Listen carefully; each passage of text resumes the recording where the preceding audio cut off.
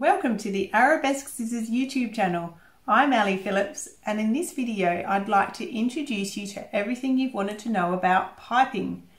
Now piping is when the cord is wrapped in fabric and then sewn into the edge of a seam to give it some pop and definition and as you can see it also adds quite a bit of character to the project as well. So in this two-part video series I'm going to take you through how to make your own piping from scratch. And then in part two, I'm going to show you how to sew it into a project and how to turn corners and curves. Now, if you love educational sewing videos that help you grow your sewing skills and help you level up each project so it's better than the one before, please consider giving this video a like and hitting that subscribe button. Now, piping essentially, at its very most basic explanation, is fabric that is wrapped around a length of cord or rope. And that fabric is sewn into a tube down the length of that cord. And then that cord is then taken and sewn into a seam so that it extends out of the seam and gives you a really nice little bit of definition. And you can see that, that this adds uh, quite a bit of tailoring and elegance but just also a really nice uh, bit of simplicity to your project but just makes it really really pop. So what you'll find when you buy piping is that if you're going to purchase some uh, pre-made piping it typically comes in um, quite a small uh, width of piping and quite plain colours and you'll really be limited um, by the colours that the shop is selling to you here and You'll also be limited by the width of uh, the width of what you're buying here. So typically it comes in very small piping and you might be wanting to make something that's really thick and you can see that you can purchase uh, cording in quite a few different uh, widths. So this one's um, a narrower one, this one's a bit wider and this one is like a jumbo one uh, which you might add to say a floor cushion or um, some other fairly chunky upholstery. And it's fairly it sort of follows that you typically um, the larger that the size of the project that you're making your piping would be um, probably scaled up to fit that although that's not always uh, the rule. But typically you want to make your uh, piping fit your project. And this is the size piping that you'll typically get in your store-bought uh, pre-made piping this is um, a size double O or um, roughly two and a half uh, millimeters um, in diameter. And what's exciting about this is that you can make your own very, very easily. And this particular width is probably, I find, the most beginner friendly uh, width to do it with because it's not too fat, uh, that it's hard to handle, and it's not too thin that you're just going to sew over the edge of it. So um, it just gives you um, just the right amount to play with and it's probably my most used um, one to date. So even though it's beginner friendly, this is the one, this is my go-to piping that I use uh, whenever I can make a project. So this one is a little bit fatter and I just typically don't use this one as much. But you can see that the sky's the limit with what you want to make. Um, this one's just a lovely candy stripe one and you can imagine when this is sewn into a project it just really pops with that lovely candy striped edging uh, sticking out. The next important thing that I'd like to talk to you about is making piping that has the right seam allowance for your project. So you can see here that this piping that I have here, this is a quarter inch seam allowance piping. So I have used this in projects where I've had a quarter inch seam allowance and this particular one here is piping that has a 3 8 or 1 centimetre seam allowance. And so if you're wanting to get a really nice snug fit for your piping, which uh, we do, we want it to really pop in the seam, not be baggy or loose, or also not be cut off and sort of be hidden in the seam by uh, just uh, being uh, slightly too small. So we want to make sure that the seam allowance that we're using when we make the piping is the same as what is called for in the project. And so if you are going to make custom piping, you're going to want to take your cord, and I'll just use my extreme version here, and you're going to just wrap uh, your tape measure around your cord like so, nice and tightly, and you want to measure that, and this comes out at an inch and a half in circumference. So that is the uh, initial width of my piping that I need. And then I need to add two times my seam allowance on. So if I was going to have a quarter inch seam allowance, I would be adding a quarter plus a quarter would mean I would cut two inch width strips of bias to make this one.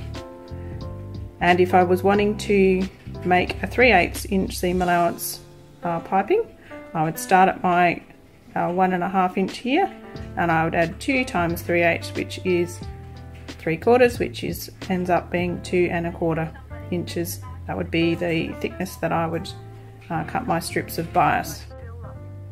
So if we want to take that down to this uh, nice small size double zero piping here if I've got a quarter inch seam allowance that I'm wanting for this one I cut my strips at 7 eighths um, inches wide for each strip and if I'm wanting a 3 8 inch seam allowance I cut my strips at between 1 inch and just under 1 and an eighth inch.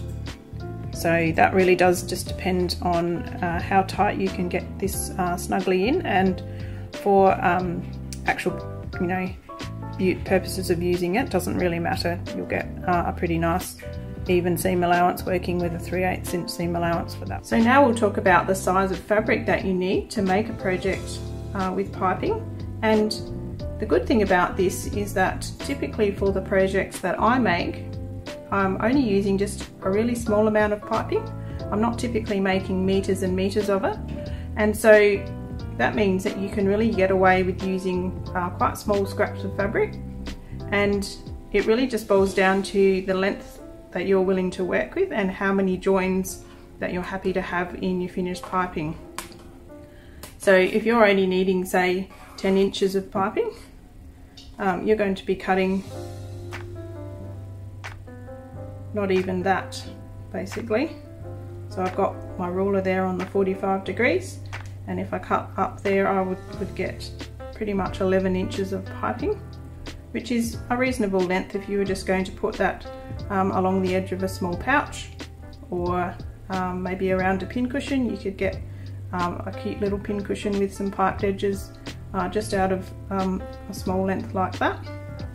And it really boils down to um, how many joins that you'd like to have. So if you've got a length and you don't want any joins, you could cut right up the middle and you're going to get about 21 inches of that strip.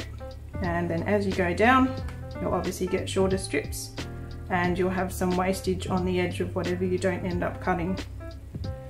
So just for the purposes of this, I'm going to cut a couple of uh, decent sized lengths so that I can demonstrate this being sewn.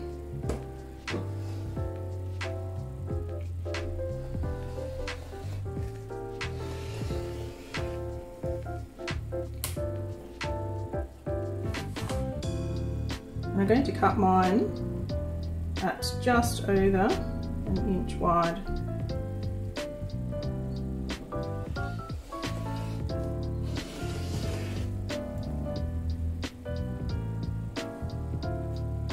And now I'm going to just cut, I'm going to use this one and just cut the second strip.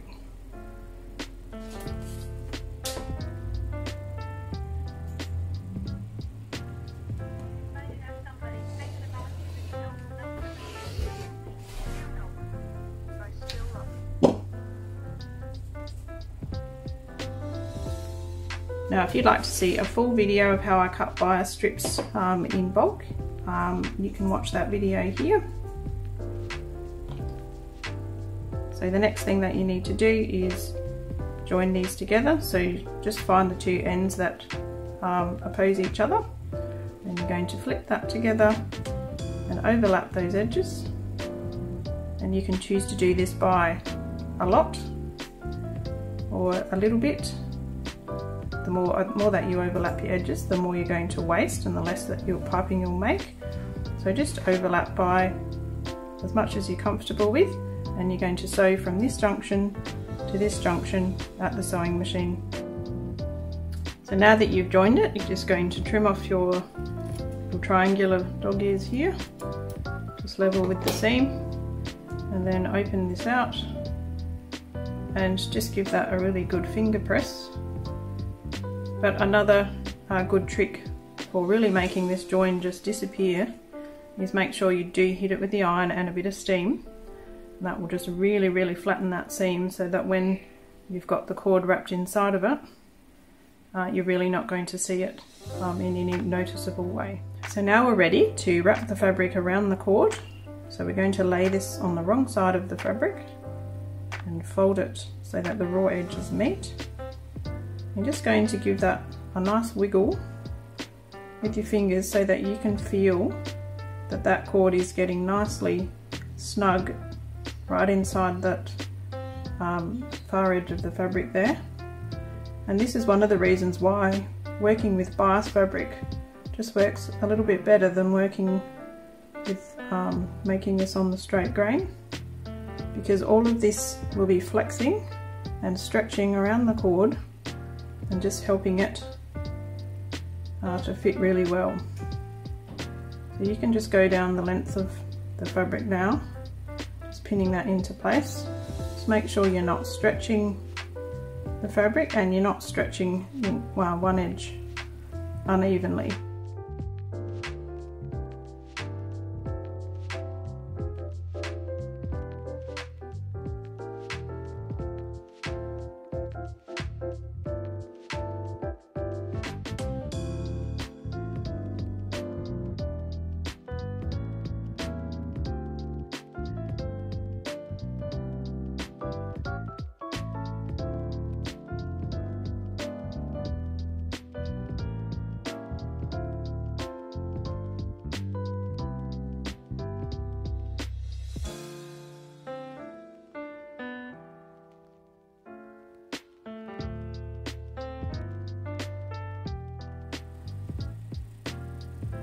So now this is ready to take to the sewing machine and I'll show you how to stitch this together. So now we're at the sewing machine and I'm just going to put my zipper foot on.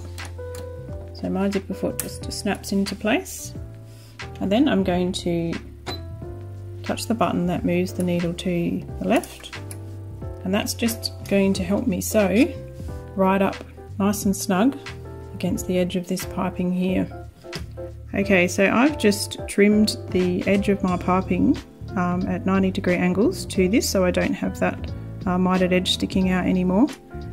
And before I get started with the sewing, I'm just going to do a bit of a test with the needle just to see that the needle's going to land exactly where I want it. So I'm just going to hand crank the sewing machine towards me until I can see that that needle's landing right where I'd like it to be.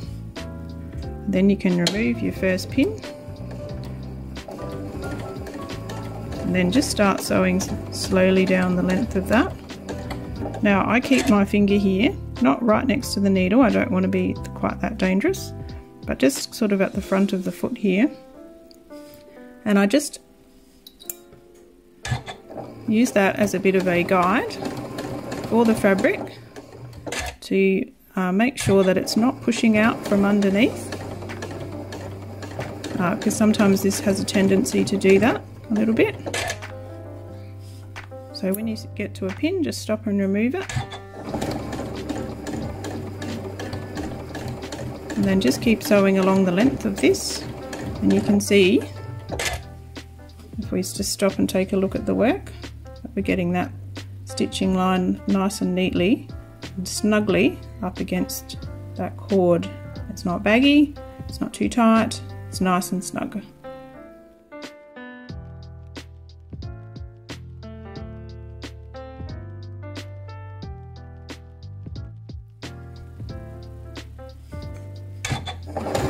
As you come up to a join, you're just going to sew right across it.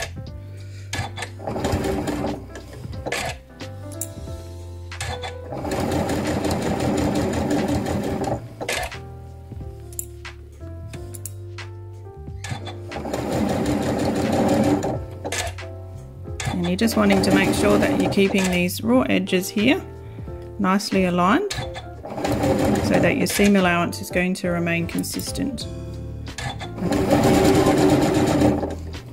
Once again, practice makes perfect with this. If you find that your first attempt at making piping um, isn't quite this snug or quite this even, uh, then just keep going, just keep trying. Keep practicing some of these methods that you can see here. And it won't be long before you have very nice, neat, perfect piping.